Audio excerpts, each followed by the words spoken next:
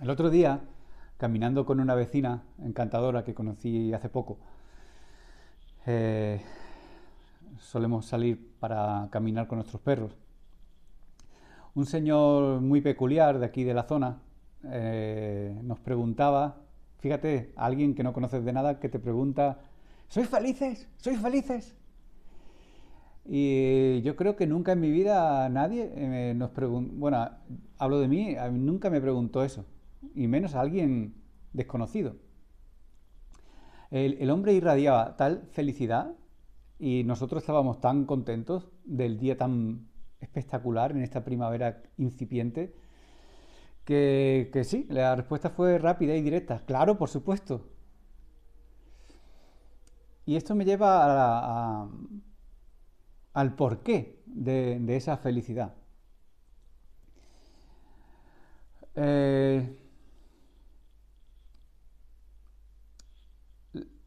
yo creo que esa felicidad se ha construido, hablo de mí, se ha construido eh, con tiempo, con paciencia, con momentos muy amargos de entender, de comprender cosas sobre ti mismo que antes estaban debajo de un montón de capas de, sedimento, de, de, muchos años de frustración, de muchos años de comprensión, de muchos años de no entender por qué tenía una dinámica tan, tan particular. Y, después de esta especie de, retiro budista, por así decir, eh, he comprendido tantas cosas sobre mi persona.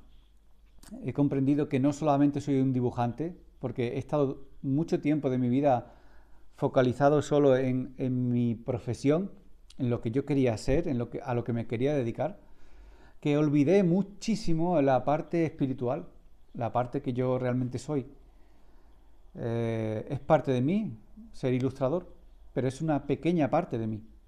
Y he estado todo este tiempo dedicando mi vida a esa pequeña parte. Entonces, cuando de repente soy consciente de que soy mucho más que eso, se me abre la vida. Se abre la vida de par en par, las ventanas de par en par, empieza a entrar aire fresco, empiezo a reconocer pequeñas cosas de mi, persona, empiezo a querer sanar ciertas heridas que tenía de, la infancia, ciertas heridas que he tenido durante mi etapa de adulto, donde he conocido a muchísimas personas, gente maravillosa que me ha enseñado un montón de cosas, y también a reorganizar y ordenar toda esa parte profesional que he ido construyendo con el tiempo a darle prioridad a las cosas que realmente son prioritarias y, y a disfrutar de, los logros, ¿no? Porque conseguir ser cualquier cosa en la vida, eh, cualquier profesión, médico, abogado, ilustrador, eh, pintor, poeta, escritor, eh, yo que sé, buen fontanero, buen carpintero, buen panadero,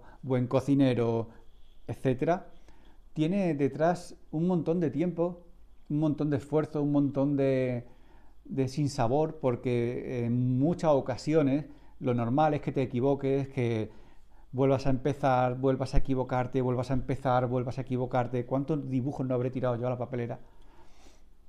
¿Cuántas acuarelas han sido fallidas? Eh, ¿Cuántas conversaciones con editores han sido fallidos? No han, no han llevado a nada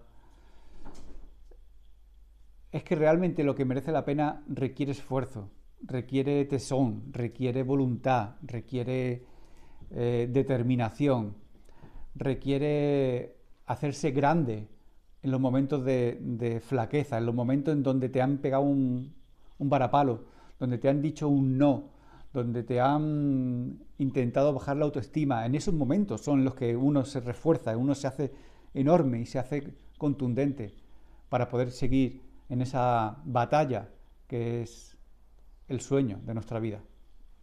Esto se puede aplicar a cualquier profesión, a cualquier cosa. Pero es verdad que mucha gente en nuestra sociedad se ha, volcado mucho en esas profesiones que son, yo lo llamo las profesiones de las madres.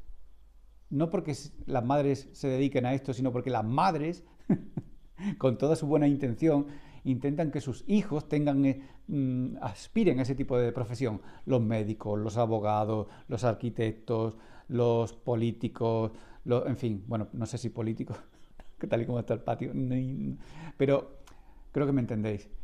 La cuestión es, ¿qué es lo que quiere el niño? Realmente, ser de mayor. Pues el niño igual no quiere ser médico. Porque yo fui un niño que no quise nunca ser médico. Yo quería ser Félix Rodríguez de la Fuente. Porque me gustaban y me encantan los animales. Entonces, eh, al margen del deseo que tenemos de ser lo que queremos ser, está esa otra parte de nosotros que está olvidada en un rincón, y está olvidada en un rincón porque en el colegio solo te enseñaron a meterte aquí cosas, un montón de información, de cosas que hoy día no tiene sentido, porque hoy día coges el teléfono y le dices a, Alexa o a quien sea, mm, ¿qué es esto? ¿Cómo es esto? Explícame esto, eh, quiero conocer esto. Y en el colegio nos tenían que haber enseñado en su momento a, manejar este, el corazón de cada uno, la mente de cada uno, a, que sea algo sano, a que sea algo productivo, a que sea creativo, a que sea grande, a que piense en grande y no en pequeño, no en... Bueno, yo creo que me entendéis. Así que cuando pasa el tiempo y todo, y todo se va poniendo en su sitio. Y decides que quieres ser feliz, decides que te quieres conocer, que quieres ahondar más en tu persona, aun cuando duela, porque duele. Duele ver ciertas cosas, duele entender otras tantas. Cuando haces ese, ese trabajo, eh, de atención. Y vas por la calle un buen día y alguien te pregunta si eres feliz y no tienes ni que pensar. La respuesta es sí.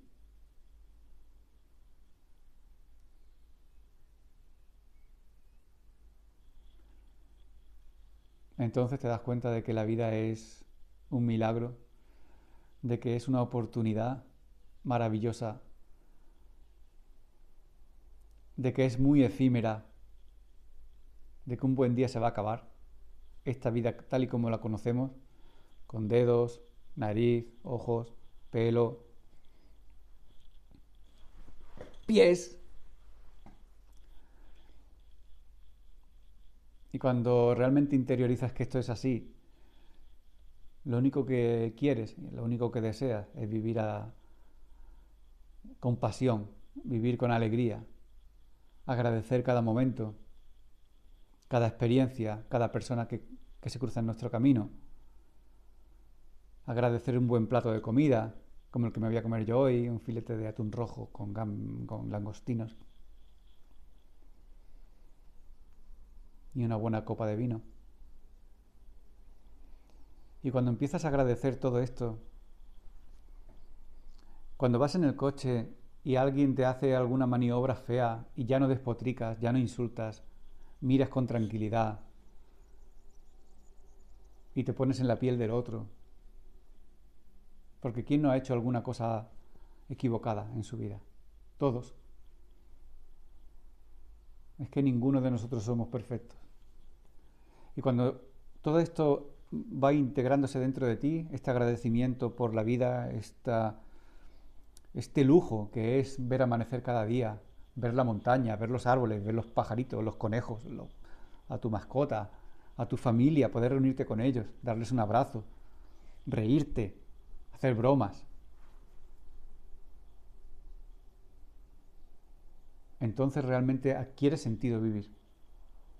Pero cuando estamos en la parte oscura, en la parte negativa, en la queja permanente, todo lo que viene va a ser eso, queja. Todo lo que viene va a ser oscuro, todo lo que viene va a ser enfermedad, va a ser tristeza.